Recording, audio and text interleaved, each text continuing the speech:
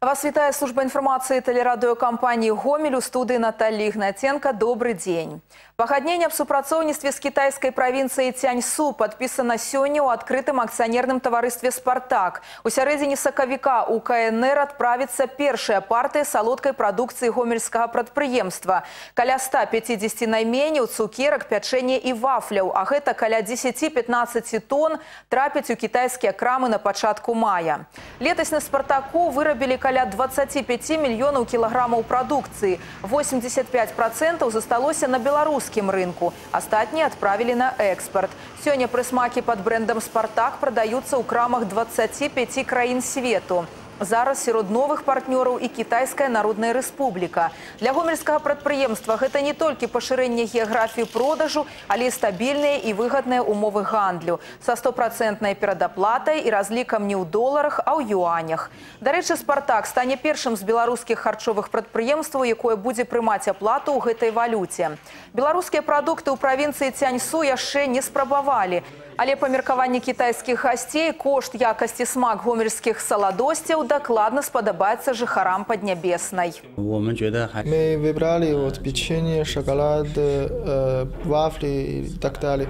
Э, они все очень вкусные. На сегодняшний день Китай для нас очень интересный рынок, потому что мы представляем его емкость, мы представляем его достаточно неплохую платежеспособность. И тот весь ассортимент, который на предприятии вырабатывается, он сегодня э, достаточно хорошо продается другими производителями, и российскими, и украинскими, и европейскими, и э, американскими на этом рынке. У Чачэрску работнікі камунальных службаў збіраюць у мясцовых жыхароў другасную сыравіну, а суму за яе ўключаюць у жыроўку, што дазваляе нядрэнна эканоміць. Схема, па якой гэта адбываецца, проста і зручная. У адным месяцы, напрыклад, прынялі сыравіну, а ў наступным аднімуць яе кошт ад сумы за камунальныя паслугі.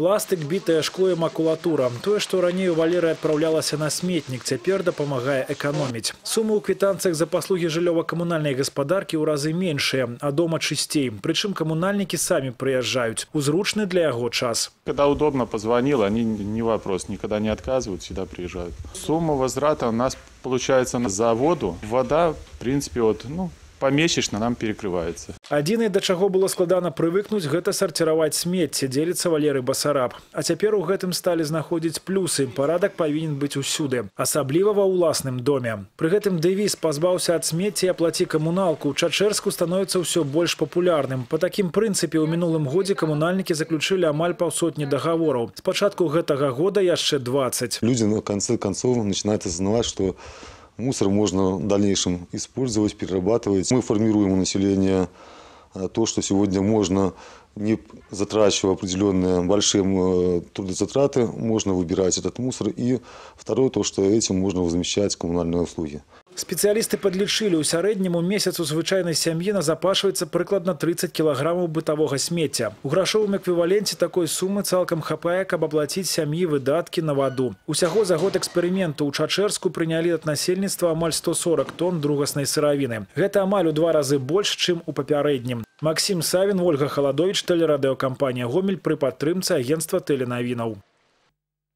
Дарэчы, задаць пытанні кіраўніцтву дзяржаўнага аб'яднання жыллёва-камунальная гаспадарка гомельскай вобласці жыхары рэгіёна змогуць у пятніцу 26 лютага. У эфір выйдзе інтэрактыўная праграма дыялог. Глядзіце яе адначасова на каналах Беларусь3, Беларусь4 у 1850. Онлайн-трансляцыя будзе весціся на сайце цівяргомел.бівай.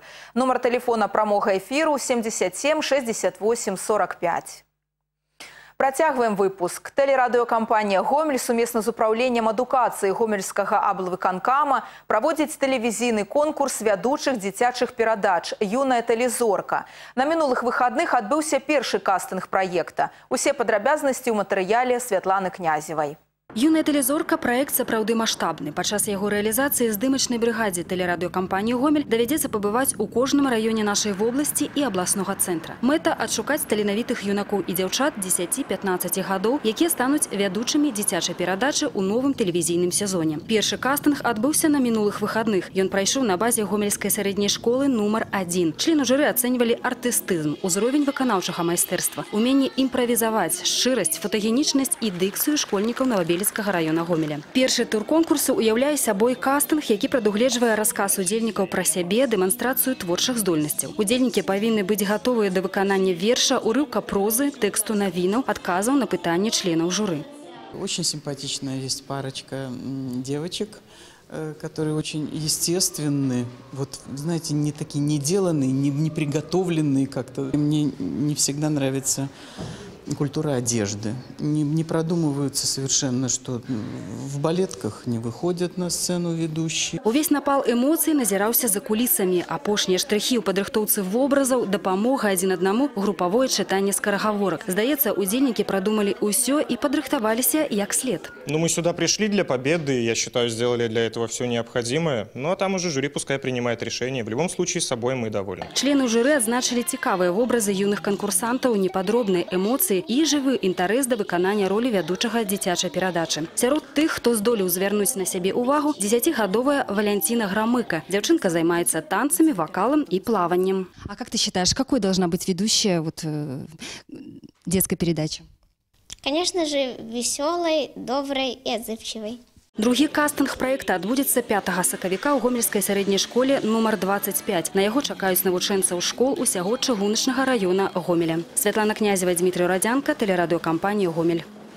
Як правильно падабраць вясельны ўбор, прычоску і макіяж, знайсці прафесійнага фотографа, вядучага і дэкаратара. На гэта і многія іншыя пытанні, якія хвалююць падчас падрыхтоўкі да ўрачыстасці, можна было атрымаць адказы на другой рэгіянальнай спецыялізаванай выставе вясельны гомель 2016. У модных тэндэнцыях гэтай індустрыі разбіралася Вераніка Варашыліна.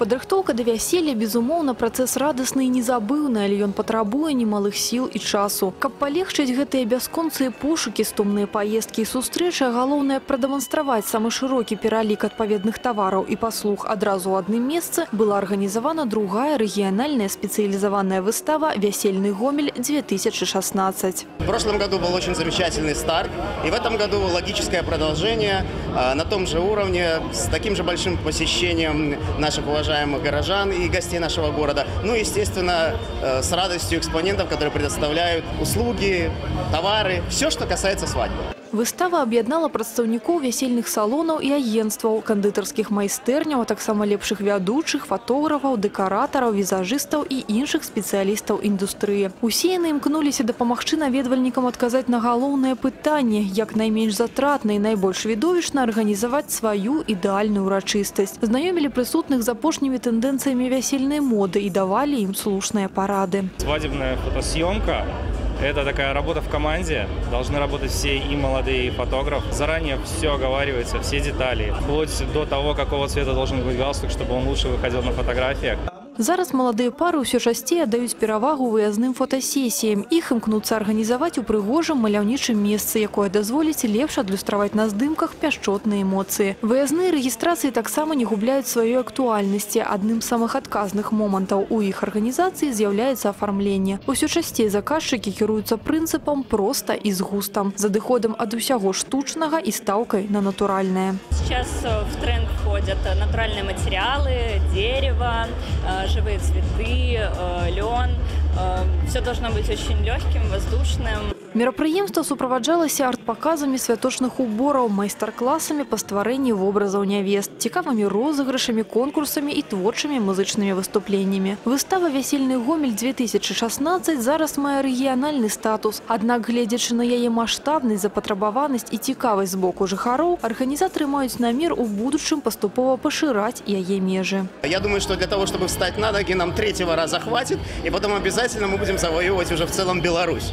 А, город Гомель всегда был, э, может, не гласным, но гласным все-таки культурной столицей нашей республики, и мы обязательно а, наш свадебный мир сюда подтянем. Вероника Ворошилина, Михаил Рабков, телерадиокомпания «Гомель».